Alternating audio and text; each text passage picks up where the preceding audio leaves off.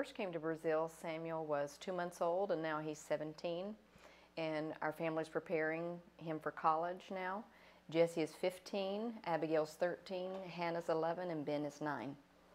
And as much as our families changed throughout the years, if you can imagine, we came to Brazil and we had a two month old, and now he's 17.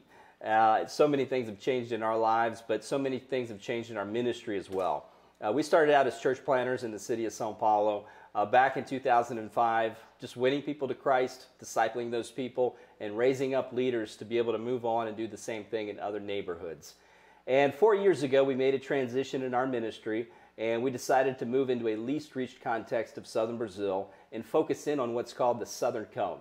Uh, the Southern Cone is southern Brazil, Argentina, and Uruguay, and it's mostly made up of people of European descent, and it's considered to be least reached within the context of South America.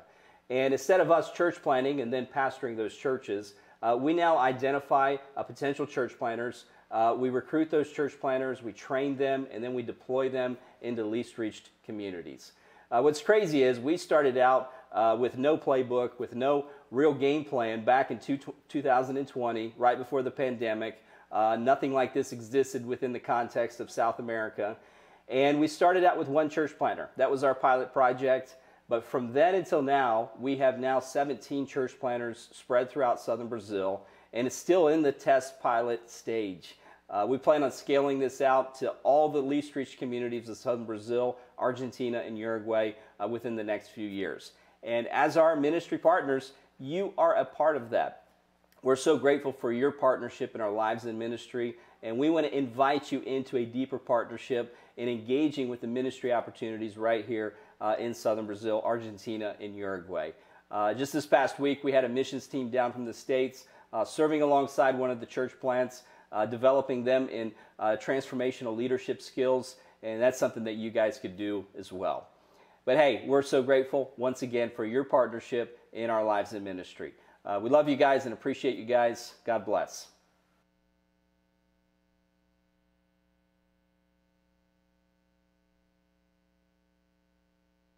Well, good morning, church family. It is uh, great to have you here on a beautiful sunny morning. I want to welcome you to Ebenezer Mennonite Church as we worship here today. lots of announcements in your bulletin that you'll find. Um, you don't need me to repeat those. Uh, but I will just say if you uh, were here last night, we had a wonderful wild game event.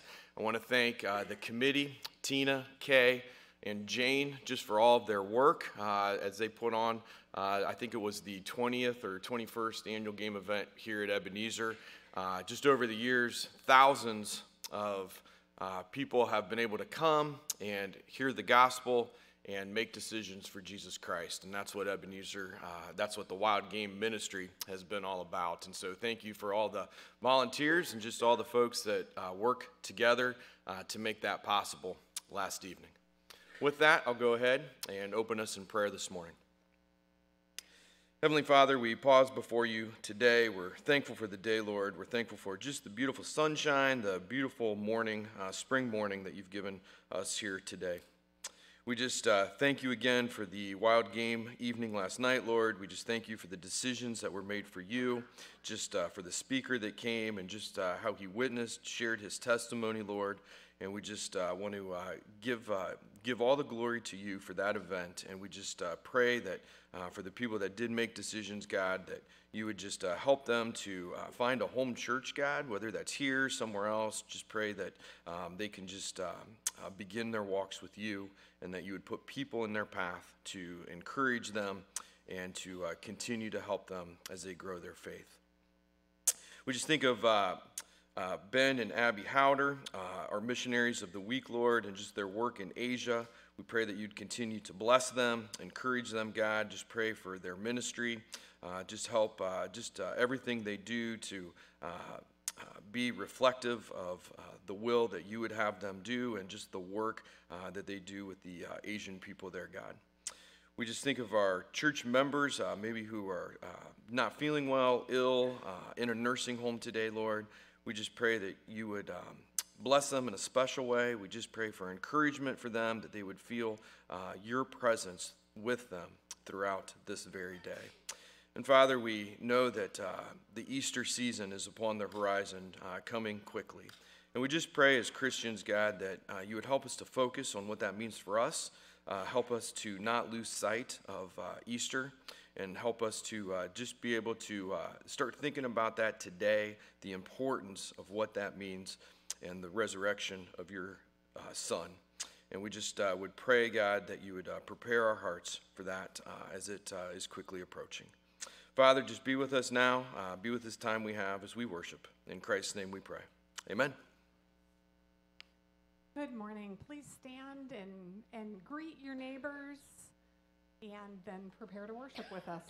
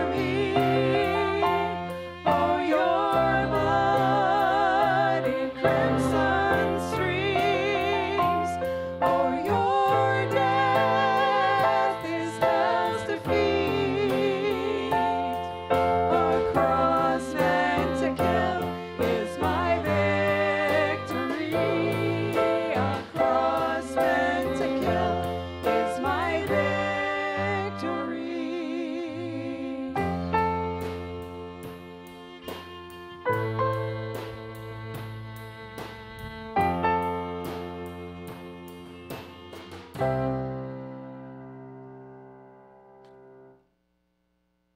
are welcome to be seated. Please continue to worship with us. Um, so many times there's just stuff, right? So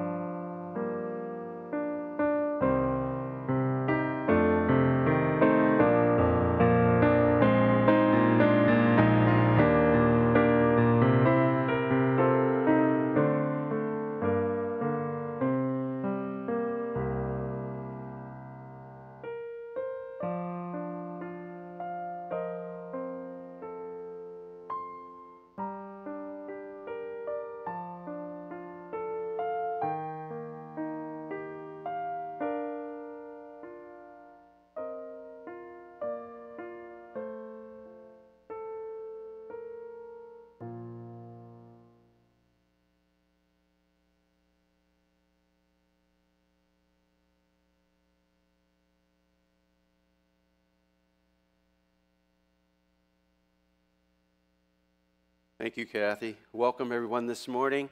If you have your Bible with you, please turn with me to the Gospel of Mark. We'll be in Mark chapter 8 this morning. At least we'll begin there, when somewhere down the road from that. Mark chapter 8.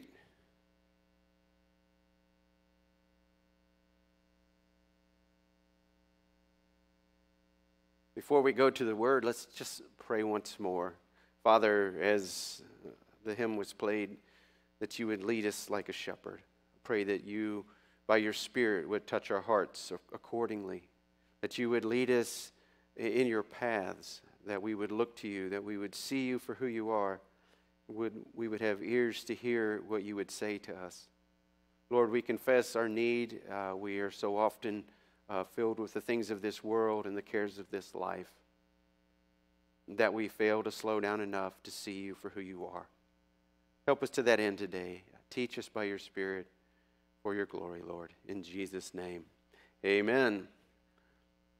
All right, this morning, what we're going to do is as we started coming toward uh, Resurrection Sunday in a few weeks, we're going to kind of take a meandering uh, through the Gospels as we see Jesus getting closer and closer to the Passion Week, to the cross, and we're going to pick up some pieces and we're going to just uh, find some similarities as we move through.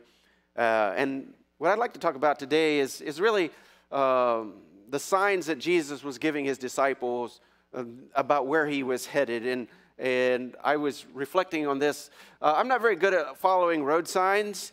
Um, I, I, tend to drive according to the spirit of the law most of the time. Um, not, not being a legalist, you know, so rather than the letter of the law. And, and, but I was reminded of a time, uh, I think it was last summertime, um, but that I, I'd heard about this, this, this grocery store south of here called Stites, right? And it's a bargain place, right? And, and I'm like, I love a bargain. And, and the staff rolls their eyes like they're doing right now every time I talk. talk about Stites, right? So I'm going to go down to Stites. And so I'm heading down. Well, last summer, unbeknownst to me, there were on 309, they were doing a lot of road work, right? And that was super annoying. And so so I'm driving down to Stites, and first time out there, and I'm like, okay, this is easy. I kind of know where it's at. I'm gonna, I don't need my GPS. I'm just gonna go, right? And I start seeing signs like, you know, road closed, and I'm like, that doesn't mean road closed now. I mean, it's, you know, I know how the road system works, and that means they're going to close the road like later this year because they're never on it, right? Or it doesn't mean it's closed anymore. It just means that it was closed and now, eh, or it doesn't mean it is closed and you can't kind of sneak your way through the things, right? Because there's ways you can do that sometimes. So I'm, so I'm driving down there anticipating all the bargains that I'm going to get and, and a road closed sign and I, I drive by and there's like no traffic, you know like that does it's it's there's there's going to be a road where you can just go out and around and you'll be past it in a I was wrong. But I passed all the signs and I drove all the way up, and here I am. And there's these, these big orange and white barriers, like, oh, the road is really closed. like they meant that. And I'm like, well, why didn't they just say it, you know, so I could figure it out, you know? That's how I read signs. And, and, and unfortunately, as Jesus was moving from northern Israel, teaching the disciples and all the crowds, that he started giving signs as well that he was going to go to the cross. And the disciples read signs a lot like I read signs, right? You know, it's like doesn't mean what he says.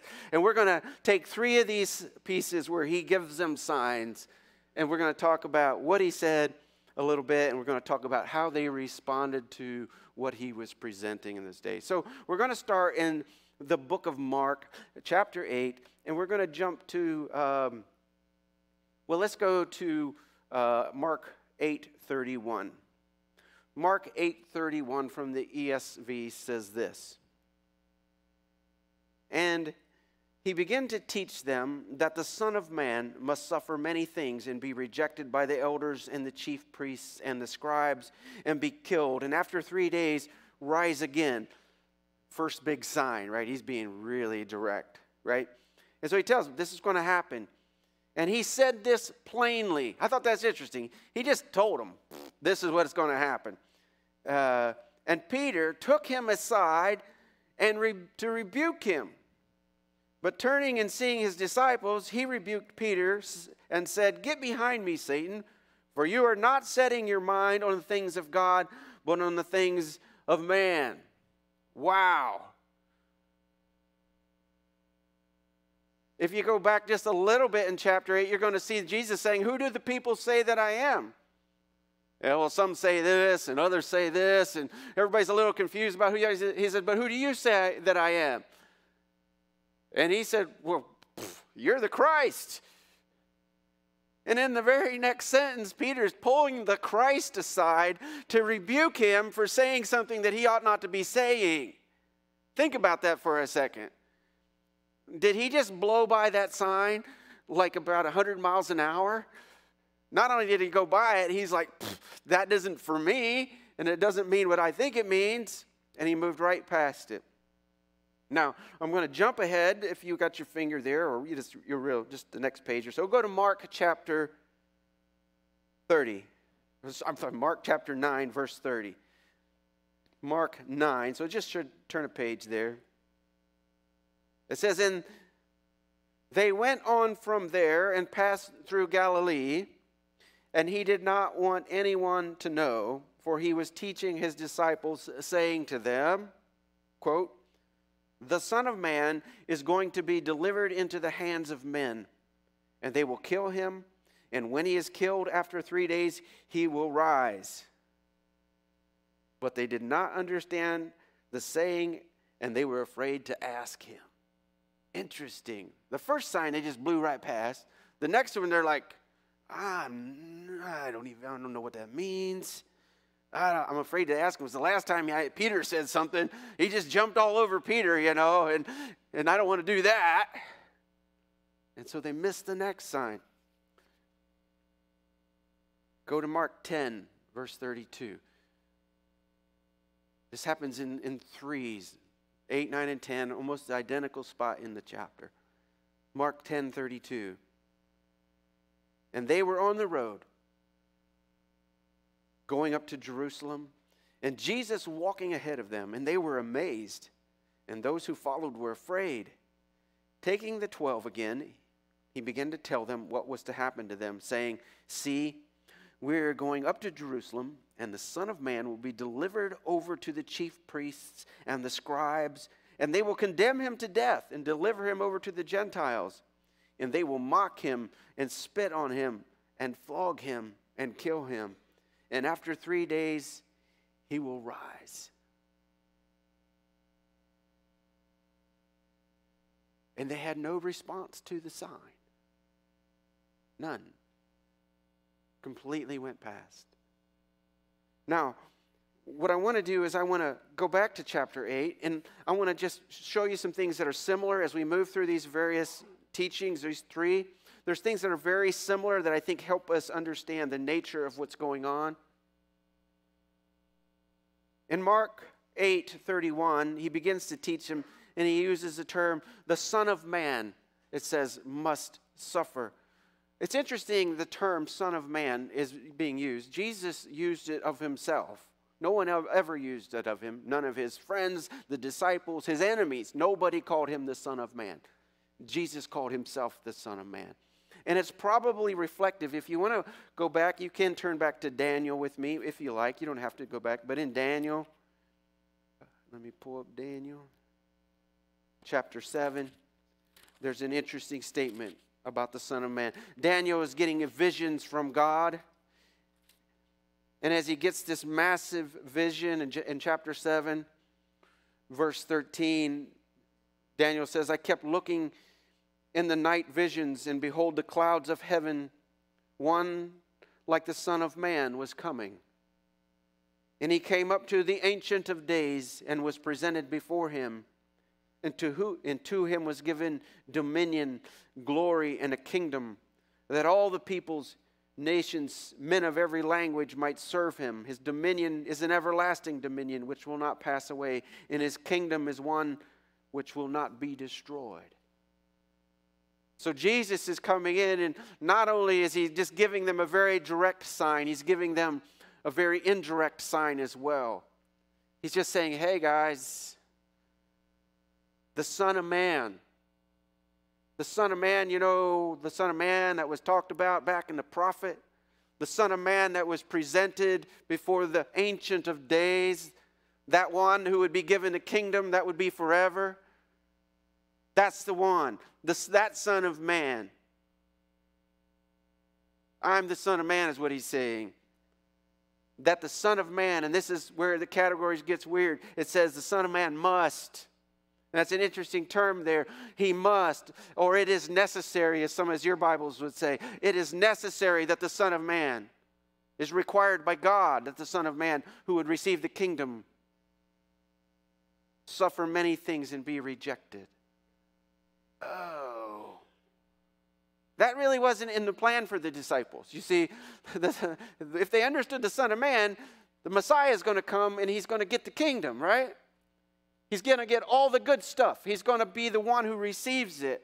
And with it comes power and glory and all the stuff of kingship.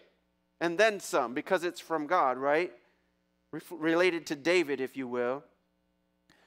But the Son of Man must suffer many things and be rejected by the elders, chief priests, scribes, and be killed and three days rise again. And Peter says it's never going to happen. And Jesus says, Get behind me, Satan, for you are not setting your mind on the things of God, but on the things of man. Huge hint, folks, to the nature of when the Word of God presents us with something that comes in a little sideways to us. I don't understand how that works. In fact, I don't even like that because the Word of God, on occasion, if you're in the Word of God, is going to come and it's going to poke you in the eye a little bit. It's going to say, hey, readjust. We go around kind of covering our eyes, hoping not to get poked in the eye. But this thing he's saying is so much like it that he uses Satan as the thing. And it really points you back to the temptation that Jesus had when he went out into the desert. He went out to the desert, and Satan came and said, Hey, he took him up to the thing and he said, Let me show you all the nations of the world. They're all yours. Just bow down. Do it the fun way. Do it the way that shows greatness and goodness, and the Son of Man doesn't have to do all that stuff. And he rebuked Satan that day because it wasn't the plan of the Father. And here he rebukes Peter because Satan was putting things in him to say things that were not of God. And then Jesus taught them, and he taught the disciples.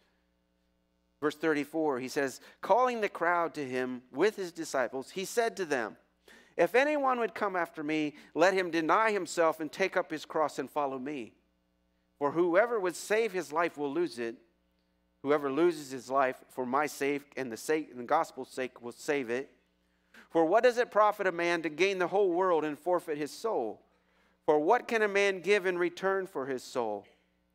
For whoever is ashamed of me and my words in this adulterous and sinful generation, of him the Son of Man also be ashamed when he comes in glory of his Father and the holy angels. Interesting. He now teaches them based on their response to the sign they missed. They just completely missed it. Don't, we don't want to go down the road of death of the Messiah. We, we just, just don't want to do that. And he said, that's, that's from the devil. That's, that's from man's thinking, not God's thinking. He says, You got to take on my mindset. My mindset is the willingness to give up your very life for the gospel, the willingness to be the servant that God asks you to be. The devil says, you're going to rule. We're number one, right? Everybody watching basketball, everybody wants to be number one, right? That's the big point. One team that is the last one standing, and everybody gives them the accolades. And he's saying that's not how it works. That's not how it works. You want that, you're going to suffer loss. You want self aggrandizing, you're going to suffer loss because that's not the nature of what's coming. It's not the nature of the sign I just gave you. As you buzzed right by it, wanting all the goodies, you missed it. He's saying there's a good reward, there's a bad reward, and how we respond, humans respond, will be the difference. And then you go to Mark 9. He's traveling now. He'd been in Caesarea Philippi, which is actually up in the northern part of, of Israel, almost all the way up to Syria. And he'd been traveling and, and teaching disciples, and, and his 12 were with him. And it says, and they went on from there and they passed to Galilee. So they're actually, they're heading down. They're heading to the cross, really. And as he heads down, it's probably um, at least 100 miles, depends on where they were in that. So we're talking at least a week to 10 days of traveling with the disciples.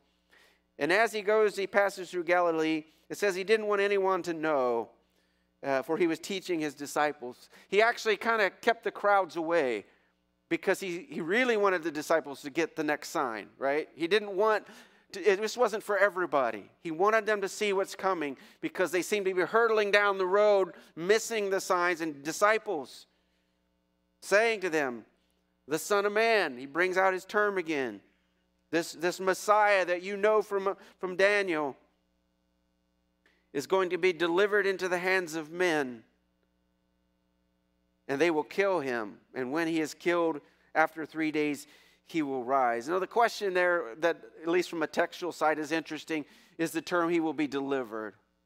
Now, and some folks and some commentators would say that that meant that he's going to be betrayed and that one of the disciples would betray him. But I think the, the way the language is stated, it better suits the fact that, that God himself is going to deliver him. God is delivering the very Lamb of God to be killed that God is delivering him over for the very purpose for him to go to the cross, for him to resurrect, which amplifies the idea of service, that he is willingly serving the Lord in this. He is willingly taking the path that God had set out for him. Verse 32 But they did not understand the saying, and they were afraid to ask him. Same exact sign. Response this time is not rejection to the sign, but to lack the lack of understanding. I don't know what that means. How can the Messiah, which we know you are, go to the cross? How can you be killed? How can and resurrection that doesn't that doesn't equate to anything that we're aware of. How can this be? And so they're afraid to ask him, afraid to talk about it, and so they just move right past it. And as they're moving through Galilee, verse 33 shows the continuation. And as they come to Capernaum, so they're traveling, uh, he tells them this, and it just kind of falls like crickets, you know, nobody responds. And they just keep walking, you know, we just keep walking all the way to Capernaum. He said it, we passed the sign, and we're just keeping going, you know, we're not, we don't even know what to say with this. And so they're talking amongst themselves at Capernaum, and when he was in the house, he asked them, What were you discussing on the way? Because evidently they were whispering to each other as they walked down the road, this hundred miles toward Jerusalem. But they kept silent. Nobody wanted to say anything. Hey, what are you guys talking about? Mm, I don't, nothing, not really. For on the way, they had argued with one another about who was the greatest. Think about that for a second. And I, and I look at it from a little different perspective. Look at it from the, the perspective first of the Father. The, the Father from heaven is, is taking his only begotten Son and he's delivering him up to death on a cross, most violent, heinous death. And he's saying, Son, I want you to tell him what's coming. And Jesus is okay. Hey guys, here's what's coming. I'm going to go to the cross. I'm going to be killed. I'm going to be buried, and I'm going to resurrect. And they miss it. And the father saying, Hey, tell them again. They need to hear from me. You know, we so flippantly read John 3:16 for God so loved the world that he gave his only begotten son. God so loved them that he would deliver up his only son and tell them tell them about it. They need to know what's coming. And as he's telling them about his great sacrifice, his, his complete submission to the Father's will to deliver himself up to this, this brutal, brutal death, they're arguing about who's going to be the greatest. How far did they miss the sign? And he sat down and he called the 12. And he said, Come here, guys. And he said to them, If anyone would be first, he must be last of all and servant of all. You want to be first? You want to say, I am the greatest? You got to place yourself in back and you got to be willing to serve all of them. And then he took a child and he put him in the midst of them, and taking him in his arms, he said to them, Whoever receives one such child in my name receives me, and whoever receives me receives not me, but him who sent me. This is the example of service. So he's saying, You want to be great? You have to learn to serve, like I'm serving. Well, what does that mean? What well, means you got to lower yourself all the way down. And he says, Give me, give me the give me one of these kids, you know. And, and in that society, that would have been somebody with a very low quality content in the sense that they didn't have great value. They had no very little education. They weren't earners. They weren't, they weren't viewed socially as great value compared to the mature and all the learned people. Take one of the lowest of the low. And he brought him, what does it say? Did you see that? He took him in his arms. Sign of affection, a sign of care. And he says, if you do this for the least of these, the lowest of these, in my name, if you serve like that, you receive me. Oh, yeah, and it's better than that. You don't only receive me, you receive the Father who sent me. You want to be the greatest in the kingdom, the closest to God? That's what it meant. You got to be proximity. You want to be in proximity to the highest of the high?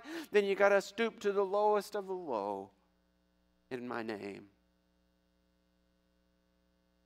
I'm telling you about the signs. This is where I'm headed.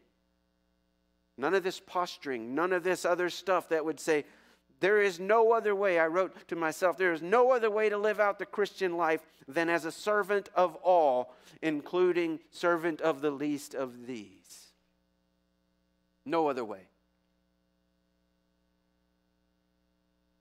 The way of the cross proves that. The way of the cross proves that was the case. Now, as I look at the disciples from their vantage point, he just said, I'm going to the cross, right? I'm going to be, I'm going to be betrayed. I'm going to be offered up. And it's like this blazing sign just went right past them. And now they're looking at, I think they're working on a workaround here. Kind of like I was going, I go to Stites, I'm looking for, none of those roads run quite as square as I'd hope they'd run, you know, at least to me. I'm, and so they're looking for kind of a sneaky way around. If I can bypass the sign of Christ going to the cross, maybe I can get a shortcut around and I can still be the greatest. This would be the, the easiest thing to do. We can kind of ignore that part. And, and maybe if we get close enough, I can sneak in around it and it'll be just right. Instead, Christ is saying, I'm looking for obedient servants who will not only receive me through their humility, through their humble service, but they will receive the Father coming up here. And then in Mark 10, he picks it up again and he, expands it a little bit this time. They're on the road now, they're going up to Jerusalem. In fact, is uh, in the very latter part, we'll pick it up next week. He's going to he's going to heal a blind man as he goes to Jericho. So he's coming up to Jerusalem. He's coming nearer, and everybody's kind of getting a little anxious by that. They're amazed, and those who follow are afraid. And he grabbed the twelve again, and he began to tell them what was to happen to him, saying, and the father's like, "Tell him again." Give him the sign. It's coming. And he said, See, we're going up to Jerusalem, and the Son of Man will be delivered over to the chief priests and the scribes, and they will condemn him to death and deliver him over to the Gentiles, and they will mock him and spit on him and flog him and kill him. and after three days he will rise. Another sign, except in this sign's got details. It's closer to the actual event. It's like when you get closer to the road closed, it's like, no, the road closed in like one tenth of a mile. This is what it's like. It's like right there. He said, This is what it's going to look like. These guys are be the ones, he's going to deliver them over to the Jews. And all these people, chief priests, scribes, um, they'll condemn him. They'll deliver him to the Gentiles. They're going to mock and spit and flog and kill. Getting context, getting detail, what's coming to the Son of Man. I think it's interesting that never in this whole thing, in the three times in a row, never do they address the issue of resurrection. He says, I'm going to die, and three days later, I'm going to be raised. Hello? Been to funerals lately? They stayed there. He's saying three days, three days, three days, and they, they just blow right past it. They didn't even see that. And then this guy said, they're going so fast, and they're heading to Jerusalem, they, they miss the sign completely, and they don't even discuss it. In fact, here's what they do instead James and John, sons of Zebedee, they go straight to him. Completely miss the sign. They come up to him and say, Teachers, we want you to do whatever we ask of you. it's like somebody say, Hey, I got a favor. Can I have it? And you're like, uh, what is it? No promises, right? That's what they're saying. They're, they're just asking a carte blanche. Just give us whatever we ask. And he said to them, Man, what do you want? What do you want me to do for you? And they said, Grant to us to sit one at your right, one at your left in your glory.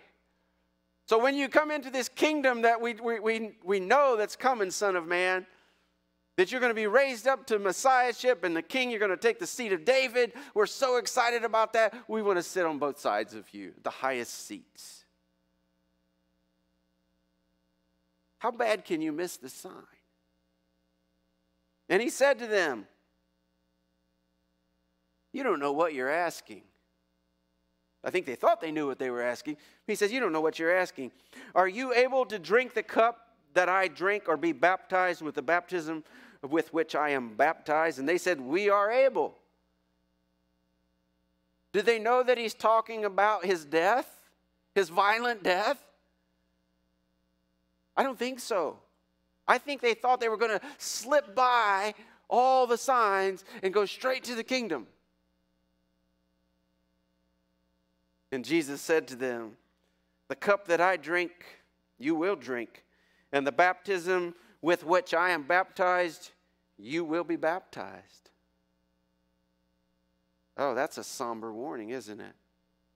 They didn't get it, knowing that those guys were going to suffer and most of them be put to death. He says, Yeah, you're going to do that. You're going to do that.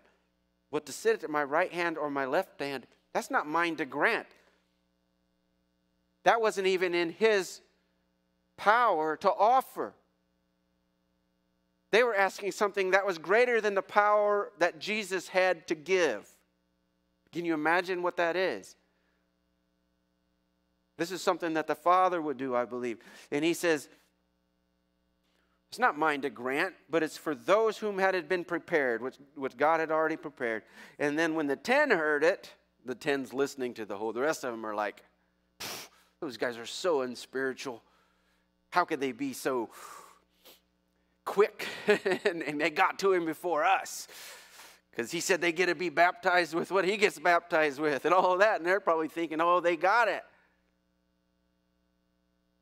And when they heard it, they were indignant at James and John. And Jesus called them to him and said to them, You know, those who are considered rulers of the Gentiles lord it over them and their great ones exercise authority over them. But, that's a big contrastive but, circle that. But it shall not be so among you. That's not you. That is not my people. That is not my disciples. It shall not be among you. But whoever would be great among you must be your servant, and whoever would be first among you must be slave of all. And then the causative for, verse 45. For. For even the Son of Man, the prophesied guy from Daniel, even that one came not to serve, but to be served, not to, not to be served, but to serve, and to give his life a ransom for many. You guys got it all upside down. You're missing the whole point here. Because if the Son of Man has to have an inverted thing, if the Son of Man came to serve and not be served, who are you to be served?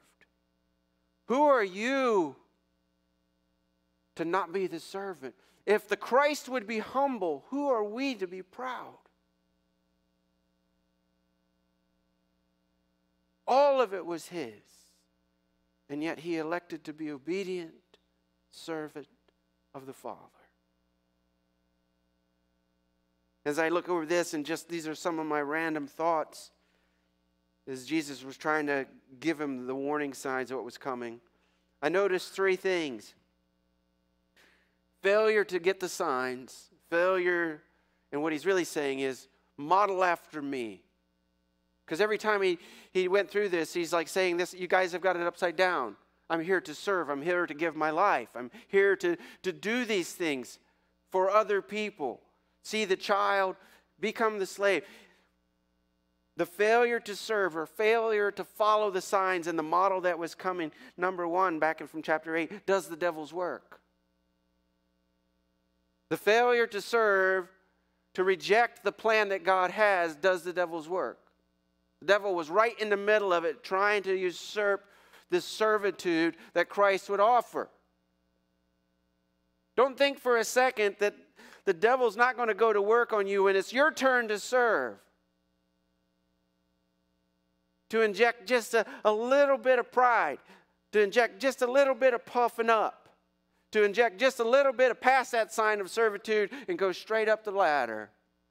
Don't think for a second that you're going to escape that in this model that he's putting in front. Failure to serve does the devil's work. Chapter 9 failure to serve ignores the lowly. Failure to serve neglects the, the child or the poor or the disenfranchised around them. They're not worthy of your time because you're special. Failure to serve puts those people way in the rearview mirror. And Jesus says, You receive them, man, you're receiving me. You receive me, you're receiving God. Direct teaching, receive them. And then you go to chapter 10 failure to serve or to place yourself in to serve divides the body. Instantly, there was a debate. Instantly, they were angry. Instantly, they were at odds with each other. These were the 12. These guys had walked with him through thick and thin. And as soon as they elected to say, make us greater than the rest, what happened to the rest of the group? Man, they're, they're fighting with each other. They're indignant. How dare you guys do that? I thought we were like on a team, and all of a sudden, no, we're not on a team. You guys want to be greater than the rest of us. Isn't that what it was? You see, the principles are right through all of that. Service does all of those things, or the lack of service does those things. Other meanderings, other thoughts that have come through this that I think is quite interesting. The Father has a perfect plan. Do you catch that? God had a plan to present Jesus and to bring him slowly through the teaching process and through all of those things and teach the disciples, teach him. And then he says, right to the end, he says, okay, now give it to him straight. Give it to him straight. Give it to him straight. They, they're not going to get it, but give it to him anyway. And in his perfect plan, with all the fussing and fighting, we see the love of God. That this is the love of God, that he would send his son for the world. God did so love the world. He, in this process, is showing his love for his disciples, for those who would come. The Father has a perfect plan. Another thought that comes out of this is I see the Christ, and, and I, to myself, I, I named him the surrendered servant. He had surrendered his will and became the servant precisely as the Father demanded. To the point where, if you go back and look in the book of John, you're going to see that whatever Jesus said, it was what God wanted him to say. He didn't say anything that God didn't want him to say. What he did was exactly what the Father wanted him to do. He completely and gladly and joyfully surrendered his own will. Being God in flesh, he surrendered himself gladly to follow the perfect plan. Ouch. Another observation I made was this, and I don't know if the term is right, but I'm going to say it just the same. Those who miss the sign or the unbelieving reject the plan and create another self serving plan of their own. You see, when the sign came up, going to go, going to be killed, going to resurrect, they made a new plan. How about I become great instead? Well, how about me and my brother? We could become great. That's a better plan, right? Those who miss it, our temptation and the temptation of human beings is to create a plan that doesn't require suffering, doesn't require servitude, doesn't require me becoming less and him becoming more. Isn't that how we work? That's how I work. It's, it's easy to manipulate things, isn't it?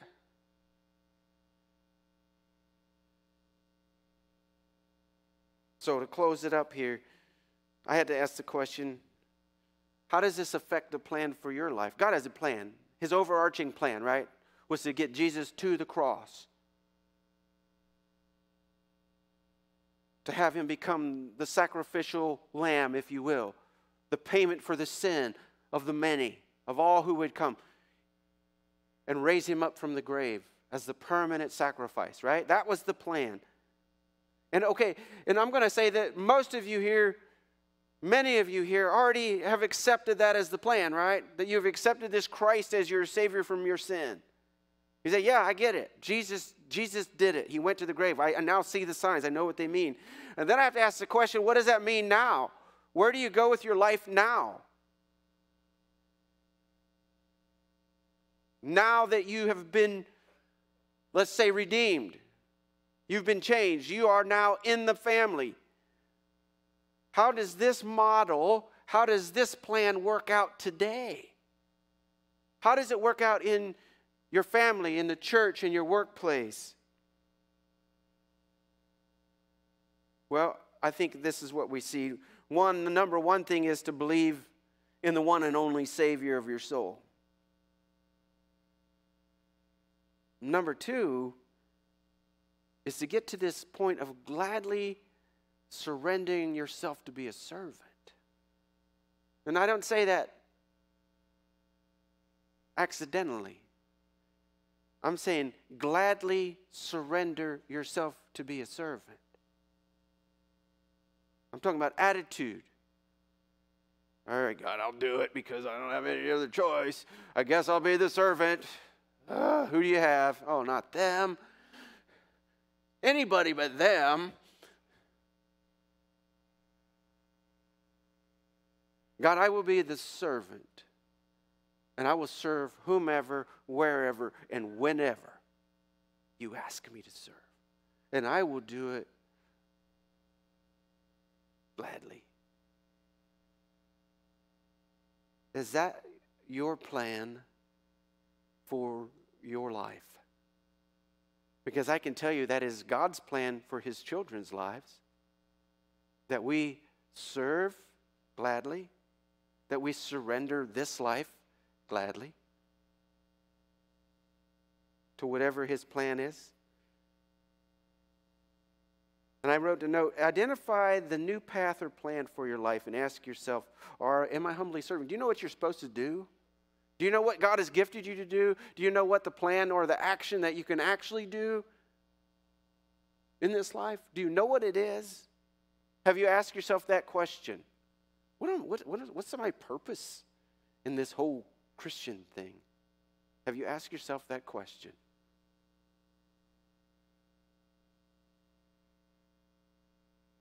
I recommend you ask it because here's, here's what's going to happen.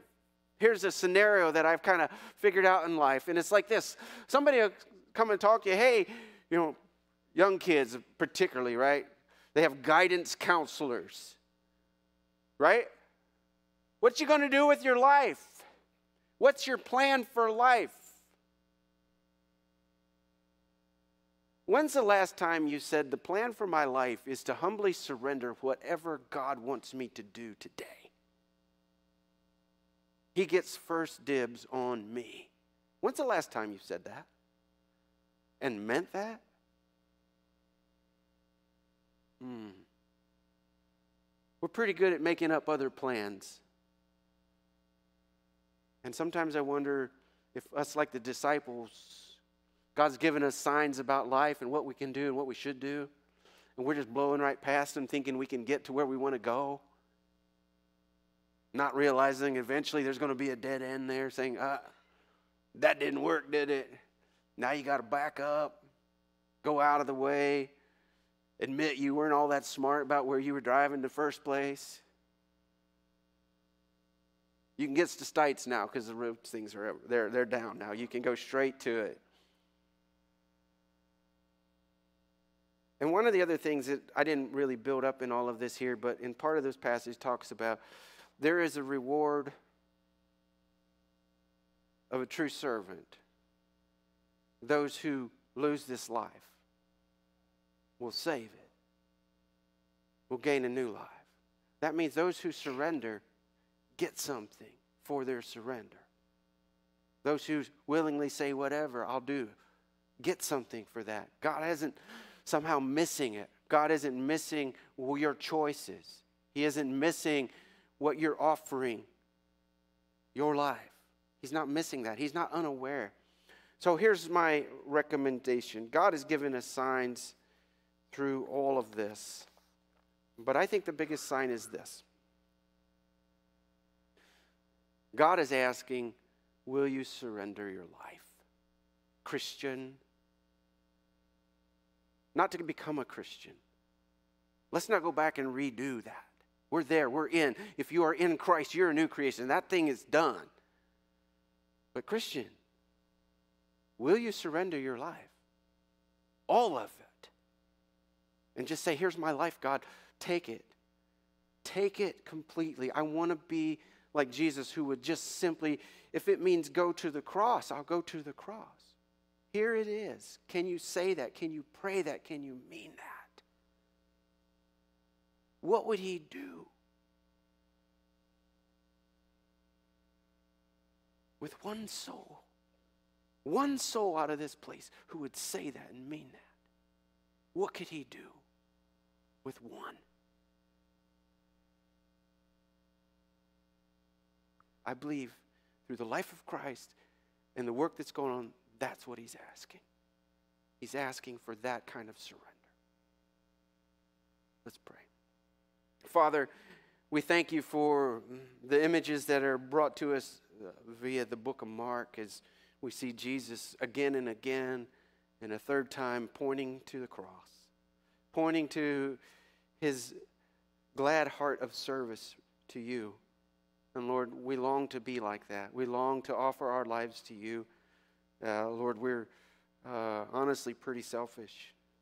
We honestly like to self preserve. We like comfort. We like the ease of life. We confess. But Lord, I just pray that by your Spirit and by the, the help that you would give us, that we would offer ourselves to you. That we would not think of our own lives. We would not think of us being great or first in line. But you would help us to be your servants. Lord, we, we just ask for help to that end.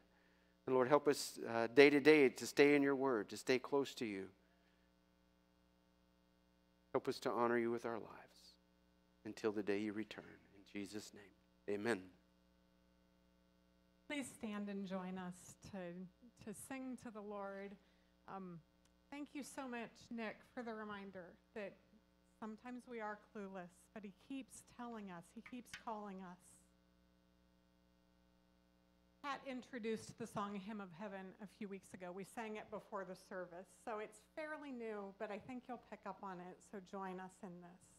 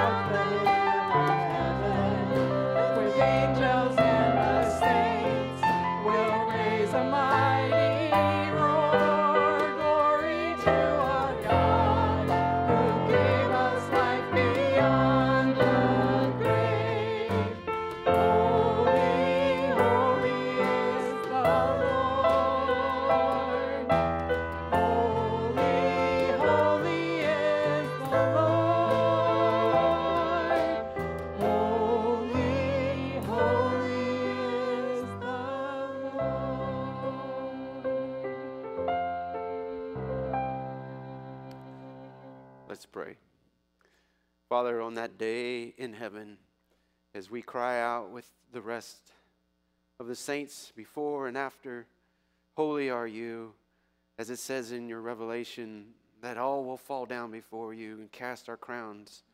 Lord, I pray that even this day that we would practice that, that we would fall before you, we would surrender our lives even this day and not have to wait till that day to bend our knee, to humble ourselves, to be your servants, to honor you for who you really are, the Holy One of heaven. Lord, we give you praise, we give you thanks, we declare you are holy, and we long to live for you today. In Jesus' name, amen.